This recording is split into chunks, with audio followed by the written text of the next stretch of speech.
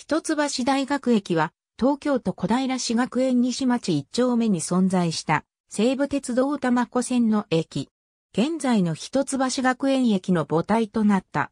相対式二面二線の地上駅で南北に分岐器を持つ交換可能駅であった。駅舎は西側に位置しており、小さな駅前広場もあった。現在の一橋学園駅南口から数十メートル南に位置し、小平学園駅ほどではないがかなり近接している。開業当初は正代横前駅と称した。もともとこの地域は箱根土地株式会社が小平学園都市として開発し始めた地域であり、その中核となる学園として関東大震災で被害を受けていた東京商科大学の余暇を招致したことにより設置された駅であるが、ゆえの名である。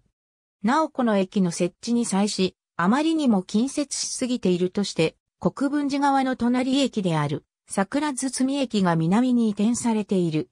戦後、学生改革によって、東京商科大学が、一橋大学に改称するのに伴って、一橋大学駅となった。しかし隣駅の小平学園駅とは400メートルの距離しかなく、混雑緩和のために統合されることになり、姿を消した。なお、書類上は、廃駅ではなく、当駅が小平学園駅と統合して移転、一橋学園と解消したことになっている。一橋学園駅の開業に際して、交換可能駅とするために分岐器が設けられることになり、南側のものは、一橋大学駅北側の分岐器を流用することになった。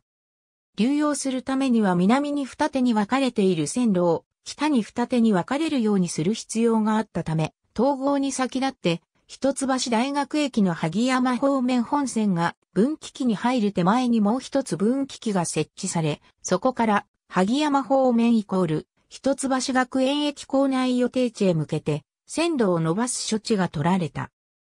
そして統合後、旧一橋大学駅ではそれまで使用していた南北の分岐器を使用停止にして全部の列車を旧萩山方面本線へ通すようにし、一橋学園駅では新設された分岐器を南側の分岐器として、そこから新たに構内へ向けて伸ばしてあった線路を旧小平学園駅構内に新設された北側の分岐器に結合し、萩山方面本線として、そして既存の線路を国分寺方面本線として使用するようになった。小平学園駅でも校内の半分が結果的に一橋学園駅の構内に併合されたが、ここも一部だけ併合された形となった。駅舎は廃駅後、商業用地に転用されて何もないが、駅前広場は、一橋学園駅南口からしばらく南へ下ったところに、現在も残され、三角形の植え込みを真ん中に持つ変形交差点となっている。ホームは萩山方面のものは跡形もないが、国分寺方面は跡地が草むらとなって東側に残されている。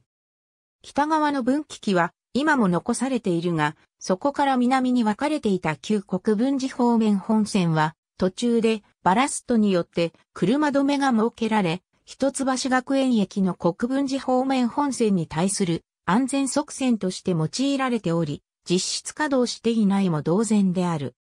その先も線路は残されているが、車止めがあるため使用されずに赤錆びている上、南側の踏切にぶつかる手前で切られ、先にあった南側の分岐器も撤去されている。鉄道施設として、現在も常用されているのは、現在の本線となっている旧萩山方面本線のみである。